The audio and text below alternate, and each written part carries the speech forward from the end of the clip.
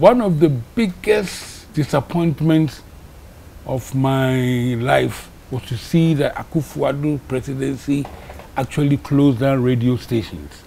I think it's the most terrible thing, given that Akufo-Addo was the lawyer for the Independent Media Corporation of Ghana, Radio Eye's operators, and we fought for the independence of the media, etc., etc. So I didn't expect that they, one of the big architects of media pluralism and independence will, under their presidency, shut down voices opposed to their kind of uh, idea. However, and, and the, the lawyers for the NCA had indicated on multiple occasions that these entities had violated uh, well, the regulatory talking framework. about the NCA, that is the yes. biggest, the biggest biggest pusher against freedom, you know. But do you disagree that they violated, they didn't pay their levies, they didn't renew their licenses, something they're supposed to do year on year the, and the, all that? That is not the issue. The institution that should have dealt with them is not the NCA.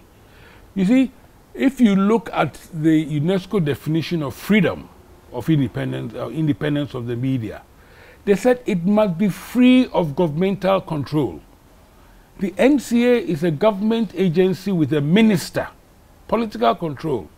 That is why the Constitution, in its wisdom, actually set up a National Media Commission. It is um, an illegality that uh, out of Radio Eye, the government, the Rawlings government, uh, uh, and the Totobi Quakyi passed the law, not knowing that that law will even come and uh, bite their own people later on.